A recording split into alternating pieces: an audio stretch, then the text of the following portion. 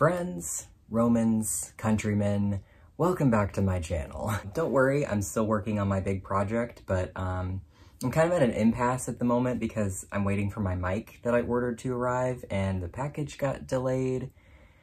So there's that. Um, and also, I have some stuff to do today. I'm I'm I'm in Hermit Crab Corner today because I need to do some stuff to their tank. Um, I'm about to go on vacation pretty soon, so I want to get them squared away. And I'm like, well, if I'm just sitting here, I, I kind of miss gabbing at the camera, you know? And also I, I want to give you something instead of just disappearing and, and leaving nothing while I'm working on stuff and while I'm on vacation. So yeah. Oh, the thing I'm doing also is this is their old net, which was fine um, before I doubled the height of their tank. And so now I have this new net that I made and I'm going to sew them together. So that's what I'm doing today. Uh, you're probably also wondering why I'm wearing a Christmas sweater in October. My collection, which includes this lovely ugly Christmas sweater. Actually, it includes a lot of ugly Christmas sweaters, some cozy and cute holiday cardigans, family matching pajamas, holiday loungewear. It's honestly like my Christmas gift to you. It's very, it's very on theme. Um, the, the problem the problem is that um, it is 72 degrees and I am already sweating and I just started. Like I just put this stupid sweater on. I am wearing shorts, um, which therein lies the problem, huh? Because it is hot, it is October, and Anna is out here advertising her her Christmas sweater collection. It's not just sweaters, I think there's also cardigans and um, like pajamas and stuff. But broadly speaking, it's mostly Christmas sweaters. And I'm like, ma'am, can we please get through Halloween at least? It is October, I have some notes, but it is October, um, and she's already marketing Christmas sweaters, and I'm like, girl, please, please let me be spooky for five seconds. But I, I did want to show you the funniest thing I think I've probably ever seen. Let's say you are not like a big kitsch girl, right? You want to be more like subtly holiday. So that's where this sweater is perfect for. Subtle? Eh, girl, subtle? Just plastered in hose? I understand that she's an influencer and this is her job and like her, her job is to advertise things and this is a big opportunity for her. That's I don't have any problem with that. I don't have any problem with her doing her job. Just like, just like from a, like a fashion critique perspective, which who am I to critique, who am I to critique fashion, but here we are. I, I don't know. They're, they're kitschy, but not in an interesting way. Like, oh, this one's got llamas on it. Oh, this one's got a dog on it. Oh, this one's got Santa in a, a van, I think, on it. A camper. The colors are nice, but it's just kind of boring to me. And also, I, I did click the link and just to, just to see how much they cost. And these sweaters are $45. I, I've definitely seen worse. I don't think that's the worst thing I've ever seen, but like I got this sweater, I don't know, for like $3 at Goodwill. Back when things used to cost $3 at Goodwill. You're supposed to go to a thrift store, find a, a, the ugliest sweater your grandma would have worn in the 80s. That's what Christmas is all about. The other thing about this video that's just funny is, well, I couldn't say it any better than this person's comment, which says, her Christmas gift to us, which we have to buy ourselves. This, this video in particular is, I think, possibly one of the first times I've actually seen her respond to YouTube comments, at least since I've been watching her, besides addressing controversy occasionally. She was actually, like, liking and and posting like replies in her YouTube comment. Like, have we ever seen her do that? That's crazy. To be fair, it's the same three comments, which is heart emoji, thank you, or addressing all of the people who are like, these sweaters are way too short. And she's like, well, I'm 5'10". You have to remember that I'm 5'10", so they won't be as short on most other people. And to that I say, well, I think perhaps one of the reasons that this sweater, it, looks so short on her, all the sweaters and stuff that she tries on, is because I don't think she's uh, wearing the correct size for her. That's, that's something that she does often. I don't really, I don't really comment on it that much. Like, there's a reason I don't really talk about her fashion content because I, don't, I just don't have much to say about it. Like, wear what you want, do what you want, I don't care. Uh, she does often wear things that are very short and seemingly too small on her, and that's her prerogative. But I think in this very specific scenario where she's trying to sell her own collection, I think it's actively working against her because there are countless comments that are like, this stuff looks cute, but it's so cropped. I, I, I don't want to wear a sweater that's so short. And like, agree, like I'm short. And even then I don't want, I, I want a sweater that's like oversized and baggy on me, clearly. And a lot of people in her comments are like, yeah, like why are these sweaters so short? And she's like, well, I'm tall, I'm tall. And I honestly don't think that's true because on her, they're they're not just short, they're they're pretty tight, tighter than a, a sweater usually is on somebody. And and I'm like, wow, your audience is full of people who are like, I would have bought these things if they weren't cut that way. And I'm like, oh, this is this is actively like damaging her marketing, which is the yikes. And they do go up to a 5X. Like, this is a very inclusive line, and I really don't think she's wearing a 5X. Like, I think a lot of people exaggerate about how big she, is. like, she, she is a very large lady, but I think sometimes people exaggerate a little bit on exactly how large she is. I don't think she's wearing the biggest size, which is a 5X. Um, I, I can't speculate on what I think she's wearing, but I don't think it's 5X. I think if she sized up like one or two, it would look totally fine. It would look a lot better. And it probably wouldn't look so short. And you wouldn't have all those people in your comments that are like, why are all these sweaters cropped? But okay, that was that was point one. Well, that was probably a few points, but the main point that I, I, I also wanted to make in this video is that this, this whole Christmas collection thing just really pointed out to me how how pointless her her newsletter is because on Monday, October 7th, she posted this uh, short that was like, ooh, top secret thing I'm working on. Ooh, sign up for my newsletter, be the first to know. And I did get the newsletter on October 7th, on Monday. And it was literally just it was literally just an ad for for this this collection, which is fine. It's her newsletter, and that's news. She can do whatever she wants. But imagine my surprise when literally the next day she posted more shorts and like TikToks, whatever, just showing the whole collection. Uh, what was the newsletter for? I got to see things exactly one day early.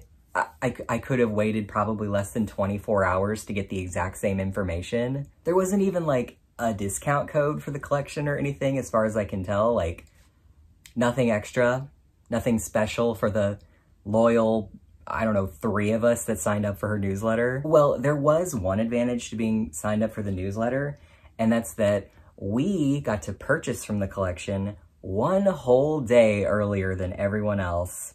So, which would have been the 10th instead of the 11th. I'll give you a moment to pick up your jaw off the floor. Oh, actually though, there was one more thing uh, in the newsletter that, you know, just an advantage for the few of us who signed up. Uh, we did get a discount code for the rebounder that she that she's been posting about lately, that little trampoline thing. And I'm like, okay, so this newsletter is just yet another method of advertising, which again, she's an influencer, that's her job to advertise, I understand. But like, this is a newsletter uh, supposedly for your like most loyal fans and like we we don't really get anything out of it at all. Like not even just like I don't I don't I don't think you need to have like perks for people who sign up for newsletters like monetary perks. Like I don't think it's a big deal that she didn't give the people in the newsletter a discount code for her Christmas sweaters, whatever. But what I was kind of expecting was like, I don't know, a little bit more personality, something something unique that you wouldn't get anywhere else. And I guess you could make the argument that she did give us something that no one else got. Like she gave a list of like some Christmas things that she likes. And that's fine. I I thought that was slightly different, but then you notice that all the things on her list, like there was like a, a Christmassy kind of book, and then there was like, a, I think a perfume, stuff like that. but they're all clickable links. And at the bottom of the screen on the email, it was like, these are affiliate, like, da da da da. And it's like, okay. So, so these aren't necessarily just your favorite Christmas things. These are just your favorite Christmas things that also uh, pay you to advertise to people. Again, it's fine. She's an influencer. I was just a little annoyed by it, you know? Like, if I were genuinely, like, a fan of hers, I would just feel so, like, I don't, like, used by it. You know what I mean? And also, we can't ignore the fact that, like, she's, she's still monetizing her health journey, which she has been the whole time, but, like, the the rebounder thing like is just like a ni nice way to exercise but she specifically got it because of her lipedema. I don't know. There's just something so icky about advertising things that are supposed to be for like a medical condition. I don't know. I, I i feel weird about it. I think a lot of people do. I mean we just saw her go to arizona and i honestly thought we were just gonna get like one big dedicated video about it. And we got like one TikTok and I, I don't think there was any kind of like affiliate thing or sponsorship or whatever, but I have a feeling it's coming, you know what I mean? Let's do my first CVAC together. this is Dr. Herbst. She's literally the queen. If you don't know anything about lipedema, start with her. So this is a CVAC system, and what it does is simulates different altitudes so you can help reduce your inflammation. Dr. Herbst, who heads up research at the Roxbury Institute, is the one overseeing my session. And also, I, I did mention in my, I made a community tab post where I was like, hey, uh, I figured she was, I really did. I was like, well, I'm, she's in Arizona. She's probably going to see Dr. Herbst. And I've been very deep in the Herbst verse, um, doing my big project. So I will be talking about her um, whenever that video is out. Um, I don't go too much into her little private um, practice thing which is where Anna was um, in Arizona. That pod thing, like that, sorry, it's like a motorcycle or something outside, but that, uh, that pod thing is probably a whole deep dive in and of itself, which I would like to do at some point in the future. I just want to know, here's my question. Why is everyone getting in a pod lately? I was just watching uh, Zachary Michael review um, the, the first episode of the new season of 1000 Pound Sisters, which I'm also a big fan of that show.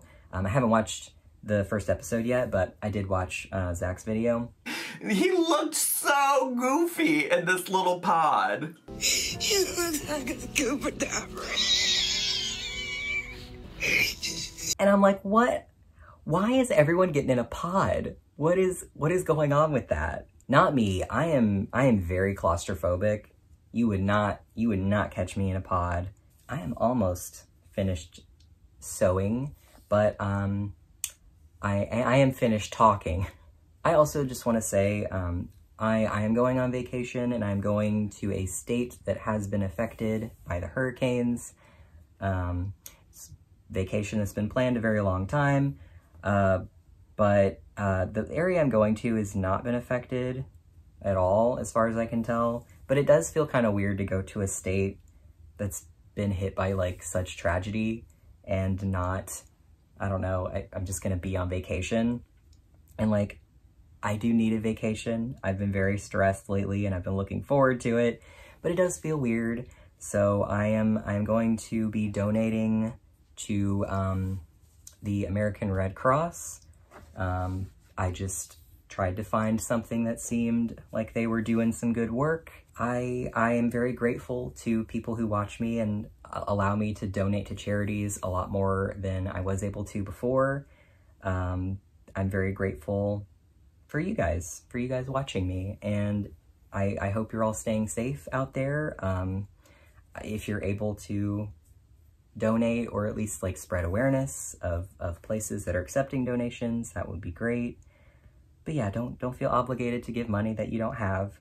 But, um, but yeah, I do. So I, I'm very privileged in that aspect of I, I have, I have this extra income and I, yeah. Well, folks, uh, thank you for sticking with me. I know I, I was gone for a very long time and I'm going to be gone for another very long period of time, but you all have, have still been watching my older videos and I've somehow still been gaining followers throughout this and I'm I'm just exceptionally grateful.